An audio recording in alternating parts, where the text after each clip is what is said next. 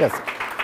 Thank you for the introduction and uh, thank you for attending our session today. We will um, give you a short introduction about Apache Karaf. And before that, um, yeah, I, can skip that. It already got introduced. Um, just uh, CloudEye is um, um, our branch um, of Medisight for the cloud development. Medisight has a long experience of developing software for the healthcare market. And uh, today we will introduce um, uh, Apache Karaf. We start with um, the basic stuff, the files and folder, how to start and stop it, the command line interface, and um, we will um, further on go to the configuration, uh, give you an overview of logging and deploying um, web applications. Um, has um, different possibilities for deployment, like Maven, uh, like um, features or, or, archives. And um, after that, we will continue with the debugging options, the uh, testing integration. And um, at uh, last but not least, we will show you some um, advanced features like clustering and um, developing applications for the cloud. Here are the uh, short highlights of Apache Karaf. It's a very um, flexible provisioning um, and uh, deployment container. It allows um, uh, deploying artifacts um, by um, features, which means they can be artifacts can be grouped um, in features and deployed very easily. It's very lightweight and modular. The application itself has a very low footprint, and it has a very um, um, wide support for um, various uh, logging frameworks, um, allows for dynamic configuration, and has a Unix shell-like command line interface, um, also um, an incorporated SSH uh, server, which allows for remote access. it, of course, supports different OSGI frameworks, although the uh, default is Apache Felix, which is actually um, pretty good. And but if you uh, prefer to use another one, um, it's also possible. And um, lots of projects um, have already uh, the possibility um, to be uh, that can be deployed as features. So it has a broad support in this case. Um, Alexander will continue to um, tell you something about the um, details of Apache Karaf. So we just switch microphones. Okay, thank you, Thorsten. Thank you for coming. Okay, um, Apache Karaf um, features. Um, what you see here is an overview um, of, of different um, things that Apache Karaf supports more or less out of the box. The core framework um, incorporates the console, the console features, uh, logging and configuration management, and uh, already a, a, blueprint container. So if you develop OSGI bundles with blueprint, uh, Apache Karaf has this out of the box incorporated. And then there are um, a lot of um, features available that could can in install very easily, like Spring integration, an advanced web console, um, enterprise features like JPA and JTA, uh, and, and EJBs to make a really enterprise uh, server out of Karaf. So how Karaf is uh, structured? Karaf is uh, quite uh, um, simple to, to set up. You have uh, just to download the, the, um, uh, the, version that you, that you need, um, unpack it, and uh, can just start it with the startup script sup supplied in the, in the bin folder. Um, the management is, is also quite simple. There are a few important directories. Um, you have configuration files in the etc folder. Um, in the deploy folder, you can deploy um, artifacts via the file system, and the data folder is more or less the work directory of Karaf, which um, is uh, started up by uh, when, when uh, initializes, and um, if you delete the data folder, you have a clean uh, installation again and can start again. For development, it's quite uh, useful to easily uh, reset the Karaf um, and, and start again. Hm? Was ist jetzt das? Okay. Um, uh, Karaf um, has a lot of uh, possibilities to, to um, tune and, and configure. There's just an overview about the most important environment variables that you can set to, um, to um, customize your Karaf installation. Why Karaf is uh, um, so nice for development in our opinion. One of the um, nicest features of Karaf I think is when you um, start it up from the, from the um, command line, you end up in a, in a shell where you have uh, a full featured um, uh, command shell to your uh, service that you can um, manipulate the, the, the, server, you can um, uh, um, watch the server, what it's doing, you can list your installation, you can install things, you can remove things, you can uh, go into the logs, you can manipulate the configuration all from the command shell. And you can also do this from, from remote. Um, Karaf has, I think, 300 um, built-in commands, and you get more if you install additional features. This is just an overview. You have um, the commands are grouped into, into groups or, subshells as Karaf calls it. So we have features, uh, commands to manipulate features, to install and control bundles, um, to look into the logs and get exceptions and um, to interact with various um, modules of, of the Karaf installation. And um, it has a built-in SSH server, so you can exit, is, exit access the um, the shell also from, from remote. So you can have your server running elsewhere and, and access them um, from your um, local um, machine. And also from inside the Karaf, you can connect to other Karaf instances uh, using built-in SH um, command. There's a um, user and role management via JAAS incorporated, which is uh, uh, used for, um, can use to, to uh, fine uh, granular um, control which user can do what on the, on the console. And you can also use the JAAS features for incorporating your own applications for user and role management. Um, in addition to the, to the um, command line shell, you can also install a, a web console um, which allows you to, to show which also uh, which bundles are installed, to install update things there and to have some manipulate some some things of, of Karaf. And um, additional option is the Hawtio um, shell, which is an optional shell which looks a little more um, nicer than the standard and has, has some more features which are especially useful when you um, uh, really develop with, uh, with Karaf. For example, you can go into bundle and see if uh, from which other bundle some classes are looked up to get some idea why uh, why some some things are not uh, found or found in the wrong version. In addition to the built-in um, commands, you have also Karaf offers you a wide array of customization options, which makes also very interesting.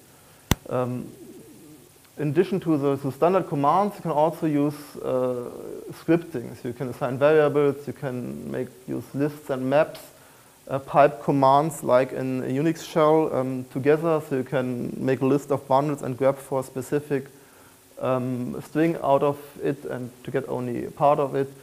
And you can use um, uh, flow control commands like um, uh, conditions and, and loops to um, make some complex uh, scripting.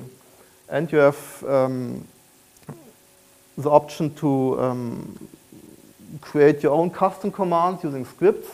There's a, a shell init script configuration file which you just put um, some uh, command um, name and then you can can add some, some script using uh, existing Karaf commands and therefore make some things easier. You can pass arguments to it And so, for example, uh, make install installation steps, seven installation steps in one command.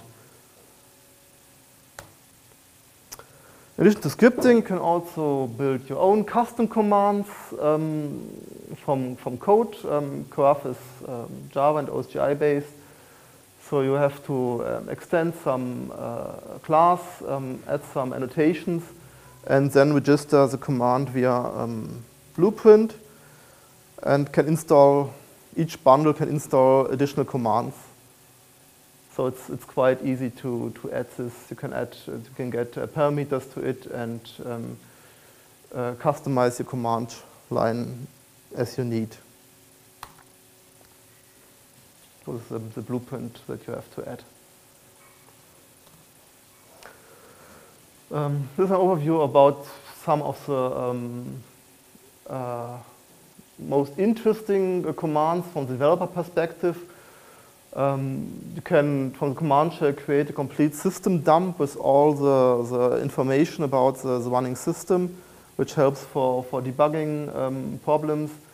Um, for each bundle, you can get details, why they did it start or, or not. Um, you can get exceptions directly from the log without um, searching through the, the, log for the last exceptions. You can watch the logs and um, show dependencies of, of your bundles.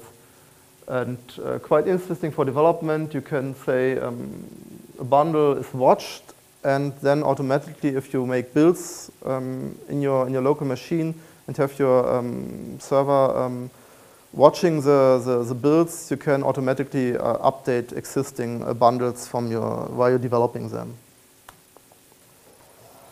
We have uh, um, some OSGI um, example application that we have um, on, on GitHub, the pet clinic application um, based on the Spring pet clinic example, but for OSGI, which shows some of the, of the things that we uh, show in the um, presentation. So how features are generated, how web app bundle is, is used, um, configuration logging, how it's used, JPA integration, and so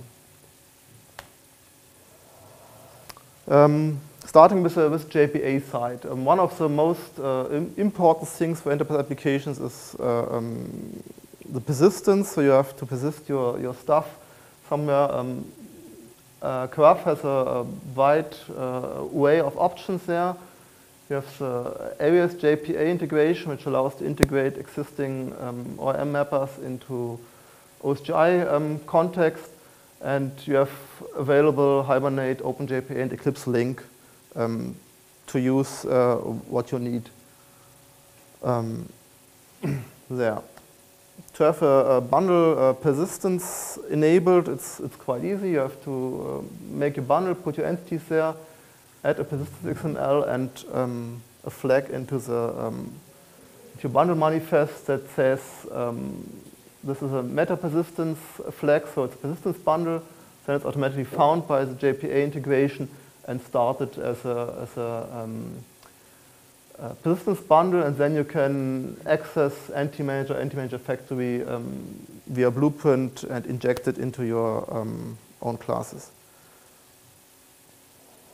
Um, for database connections, um, there's no specific um, way to configure database uh, connections. Database are also just um, OSGI services. Um, you can um, just create a, a, also here a blueprint XML file, deploy it into Karaf with a, with a data source uh, configured, and make it available OSGI service, and then you can use it either inside uh, persistence bundles or wherever you else have to have direct JDBC access. So it's um, uh, quite um, simple in an OSGI way to, to get the database connection running. Coming to, to logging. Um, logging is also from development point of view very important. You have to log to find out your problems, to um, get an overview what is happening in your application. And there are a lot of different logging frameworks, Log4j, Commons logging, um, Logback, and so on.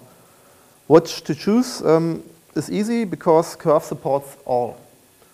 Um, has, has uh, used the PAX logging framework to um, group all the, um, the logging frameworks um, into one um, output log, which is then handled via log4j configuration that you can um, just um, manipulate. And even if you have a mixed uh, uh, situation, we have often have libraries from external sources, use different logging frameworks, you can uh, use, uh, use it uh, in the same logging configuration in, in Karaf.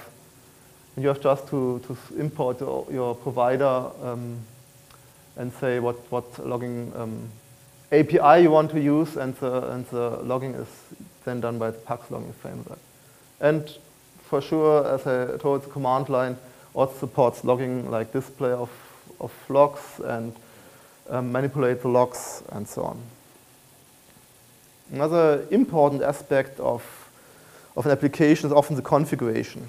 So um, Karaf offers um, an OSGI service to do a lot of work for you instead of handling your configuration files manually you can use a configuration admin um, that Karaf supports, which has a uh, more level um, approach. So you have a bundle config file that you put simply in your uh, the configuration folder of, of Karaf, name it with your service PID, and then can then it's read when you uh, access the configuration. And um, from this configuration, you can access a global um, configuration properties. So you can have some default properties that can override in your uh, specific configuration. Um, you have config uh, uh, custom properties that you can use. Also, there are different um, configuration files that you can manipulate. And you can um, supply a configuration from, from the system, from system properties, and from um, the environment. And again, there are some commands interesting. You can access during the runtime um, the, the existing configuration, see what is really read in the configuration, admin, and manipulate the entries there. How to use this um, in your um, own bundles. Um, again, Karaf, there's a blueprint support. Um, so you just have, you have different options. You can um, import um, the configuration as property placeholder and then use um, these placeholder properties inside your Bean uh, configuration. And when the configuration changes, you can configure if, if it automatically restarts your bundle or, or um, not. So you can have online configuration changes instead of restarting um, things manually. And okay, another option is, is manage properties, um, which um, makes uh, um, which uh, um, uh, looks for the in, in your in your service or in your, in your in your bean for for property names and makes an automatically matching of properties configured in your configuration and the property names in your in your bean. Um, web application support, um, here Karaf uses the PaxWeb um, framework. Basically, it's um, uh, an integrated uh, Jetty. So you have all the configuration that Jetty has. You can do also in, in, in Karaf. And you have different options for web applications. You can use an OSGI HTTP service based on the OSGI specification with whiteboard pattern. So you can um, just as a service and your web application resources also as OSGI services automatically um, glued together and deployed in your application. You can also have the option to deploy a full web application, a WAR file that is wrapped automatically, or a WAB file which is a uh, WAR file with OSGI um, information added to it. And also uh, you can use CDI in your applications. how the web application bundle from the OSGI side looks. So it's quite like a normal WAR. So you have a web interactive with class and webxml. And in the meta-inf, you have a manifest. Um, you simply have to add uh, some um, additional uh, parameters to make it uh, uh available by the um, web um, service to, as a web bundle, and then it's automatically deployed as a web application. And um, if you use Maven, you can um, simply add some, have to add some additional um, uh, configuration in your in your build uh, POM XML so that also the WAR file gets the OSGI manifest and then it's working. Um, deployment, um, the next um, big thing that Karaf has a lot of things to offer is you can deploy different um, kinds of, of artifacts. From normal OSGI bundles to simple blueprint XML files to features, um, also a specific type of archive which groups together um, things like an enterprise um, archive in Java EE. You can also deploy jar files which are wrapped automatically. Um, you can deploy Spring applications um, and other things, and with additional um, modules can extend this even. One of the most interesting thing um, is a feature uh, thing, which is a little bit out of the OSGI standard, but helps very much because an application normally consists of more than one bundle. You probably have a configuration. You depend on other things, other features, and um,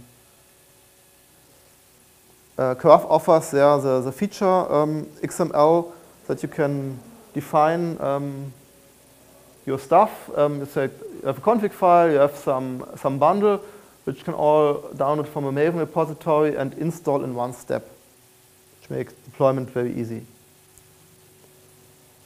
So deployment via Maven is also integrated. So if you use Maven development, um, is uh, very easily to use because you simply make your build and can then install from your um, in a local running Karaf from your Maven repository or from an other from an uh, repository on a server inside a production instance is also um, uh, very easy because you just have to add a Maven URL and install a bundle. Maven integration goes uh, so far that uh, Karaf also provides uh, the own Maven plugin that you can use to generate your feature XML from your project dependencies. So if a project has your dependencies, you can add the, um, add the feature generation um, step to it and then um, have all your things generated in feature XML which can deploy uh, instantly. You can generate commands, uh, KAR packaging, you can even create a custom Karaf distribution which um, own content.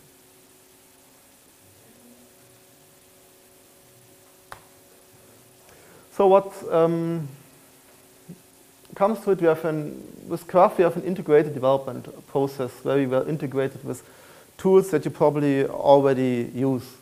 So if you have, you have your IDE which you develop, um, you have your uh, projects built via Maven, um, deployed in a Maven repository. From there you can install it um, directly from the um, Karaf console. They can manage, manage the whole Karaf stuff. Um, from the IDE, you can debug into Karaf directly, and um, therefore, when you when you update something, you just have to make your build, um, start the update command in, in Karaf, and um, debug your new code and see if everything works. For the um, Debugging, um, besides standard uh, debugging feature, which you can just turn on with a, with a flag on starting, which then opens a port which can connect with a Eclipse or NetBeans debugger. Um, Karaf also has a full JMX support of all their stuff, so you can monitor all the uh, Karaf via, via uh, JMX. Um, you can use most of the, of the commands also via JMX. You can start and stop um, via JMX, so you can also make some rebooting um, control of Karaf. And another very um, nice thing is um, the, that for testing, there exists uh, a solution, um, uh, the PAX exam uh, um, project, which allows you um, to run in your unit test, in your normal unit tests, uh, a complete Karaf environment. So you can uh, add a con in your standard unit test, um, add some uh, configuration um, uh, method where you can add all the stuff that you can uh, deploy also in via command line or the file systems. You can uh, edit configuration files. You can add um, change existing conf configuration. You can add additional uh, features or bundles, uh, set uh, options, and then all your test methods automatically um, executed inside this environment which makes it very easily um, to, to test your, um, your bundles um, in, a, in, a, in, a, um, in, a, unit test um, in a really running instance instead in a, in a only a small part of your development IDE. And you can execute this on a build server via Maven build or also directly in your IDE. Um, so Karaf offers a lot of things uh, for the development, um, but um, what when you go to uh, production? Production has often some more um, requirements, mostly high availability and and such um, and, and, load balancing. Um, so also here Karaf has then things that you can use for production. Um, most importantly, there's a, um, a Karaf feature uh, called Cellar, which is a cluster solution for Apache Karaf. It's based, it's based on Hazelcast, and it allows you to either uh, have, a, um, have a topology where all the nodes communicate with each, each other and changes are um, replicated to all the other nodes, or you have a central cluster manager um, where you can manage um, nodes from one point depends on your requirements, but all things are supported. Um, nice thing is that if you have one, if you're on one node um, and do there some changes, deploy some configuration, uh, deploy some uh, new artifacts or change some configuration, they're replicated to all the other nodes um, automatically, and you can also um, uh, publish events um, over over Cellar, which allows you also uh, for your application to react on on clustering um, events. Which is nice for cloud. no, which is nice for cloud applications. And um, if you want to try out uh, Karaf instantly, um, we have uh, um, uh, our Cloudera Path Plus um, platform as a service application uh, supports um, Karaf besides some other um, application frameworks, but we have a special focus on OSGI and Karaf. And um, we have a complete documentation of our pet clinic uh, tutorial, which is a little more um, detailed and, and, shows you how to develop OSGI and um, bundles with Karaf and with the Karaf um, features and allows you to easily deploy uh, Karaf in a cloud environment, add database support, and use it in Smile. You can sign up for free and uh, invite it to try it out.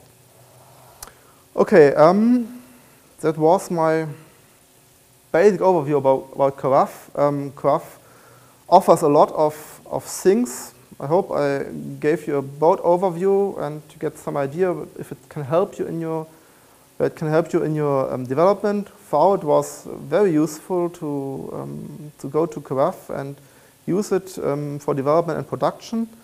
And um, tomorrow we have another talk if you're interested in learning more about uh, Platform as a Service offering. Tomorrow at, uh, at 2.30, um, the same room.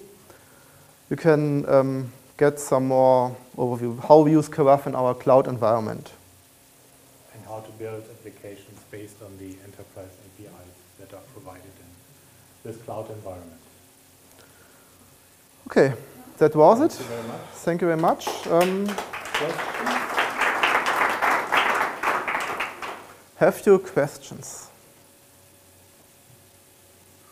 Yeah. Um, well, I'm not using Blueprint for, for uh, managing the API services. I'm using um, declarative services. And I managed to install the service document runtime from Felix, but I could not manage to install the Equinox declarative services. Uh, can you tell me which bundles I need to be honest, um, declarative service, I have not so much experience.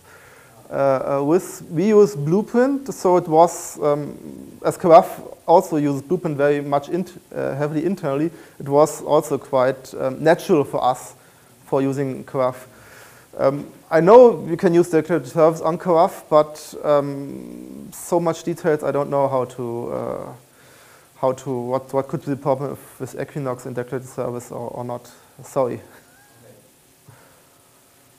Uh, have you ever seen uh, Eclipse RAP uh, framework run on Karaf? Um, Eclipse RAP is a rich application platform for Eclipse running in Karaf environment. Also, I have not not yet have any experience with with it on on on Karaf. Uh, So- so with another question, is there any kind of uh, automatic resolver? So if I drop uh, any bundle into Karaf and there are some uh, dependencies, so is there any technique to automatically detect which dependencies? Yeah, Karaf has, uh, as I, as I, as I uh, showed, has different uh, deployment options. One is via Maven repository, but also via an uh, OSGI bundle repository. So if you have an OSGI bundle repository, which gives you the information about the dependencies, you can very easily add it also to Karaf as repository. And then if you deploy uh, your, your, your bundle, which has dependencies, it tries to look up in, the, in its available repositories if the dependencies can be fulfilled and automatically downloaded. Yes, this is, this is uh, possible. Will, will this uh, repository mean the P2 repository? Um, can be, but also can, can be another um, OBR repository. We, for example, use Nexus, uh, the Nexus uh, Maven repository with an OBR, OBR plugin, which works quite fine uh, for us. But P2 is supported So also. you are using uh, the Nexus with the OBR? Yes, we are using- this, uh, OSGI related additional information about bundles so to, to be able to resolve the dependencies? Yes, yes, this works quite well. Yes? Yeah, when you drop bundles into the deploy folder, deploy bundles using the deploy folder, will the bundles be deleted or will it just stay inside the folder? The bundles will stay inside the folder. So the, the, the, this is one of the deployment options there.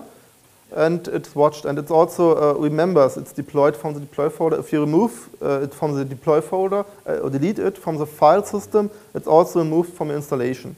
So this is basically the same in a web server where you put in the web app directory some files and remove it, and the, the applications are installed and removed. If I, remove the data here, clean the data here, and I restart the container, it will redeploy the bundle. It will deploy the bundles found in the deploy folder, yes. Thank you. There was another. yeah.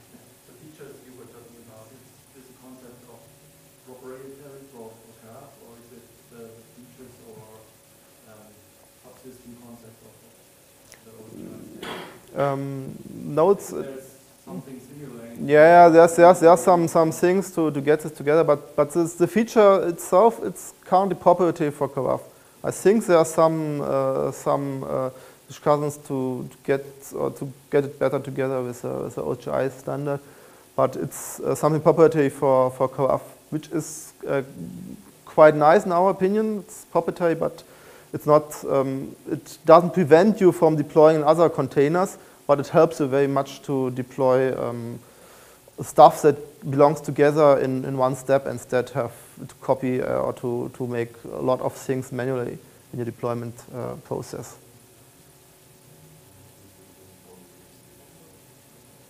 Maven.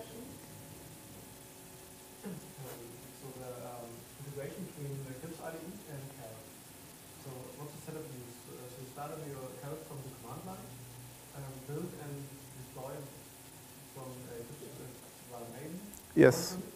Then have like uh, wash uh, the bundles and then connect to Karaf. That, that's basically the setup we use. So we have uh, Eclipse. You can develop your, your things in Eclipse or another IDE.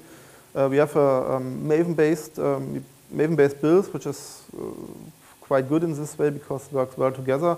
And each time when you, when you say, okay, you have your Karaf started and you say you're developing a specific bundle for this part, for the persistence, you say simply uh, watch these bundles um, that belong together. And each time that you make a new build, it's automatically deployed on your, on your container. because it, it knows the, the, the changes. And, um, and from Eclipse, you can then yeah, use the, Eclipse debugger um, to connect to, to Karaf to, to get um, to debug into your into your code. So it's quite um, quite nice. And from Eclipse, you can start unit tests starting Karaf. I think there's also a Karaf Eclipse plugin, um, but I think it supports. Last time I looked, it didn't support the, the three ver version three of Karaf, so we did not use it. So how, how long does it usually take the deploy cycle when you build the packages and you get them? How long do you usually get in the server? Uh, it's uh, less than a minute, seconds. It's, it's, it's very fast, so it's it's really um, really really good to to use. So um, uh, we also have used used some other um, application containers for OSGI and not, for example, Glassfish, which was much more um, uh, not so convenient to develop. It takes much longer to deploy things that you changed and so on. Much bigger footprint. Yeah, uh, could you please repeat the name of this um, extended web console you mentioned? Hawtio, it's called, um, but it's written H A W T I O. This is an extended web console, which again has plug-in features to add additional things on it. On it. Sorry, if you have any further questions, Alexander and Paul, please put afterwards, but um, due to the transition, transition, well, due to the transition time that I need to give you, there are only five minutes left, so if you want to um, go to another track, now is the right time. In about five minutes, we will start with uh, Carlson and David um, that will talk about on how to create an all-purpose REST API for cloud service. It's auch interessant. Thank you then. Okay. Thank you for coming. Thank you I very hope it was a little bit interesting. See you.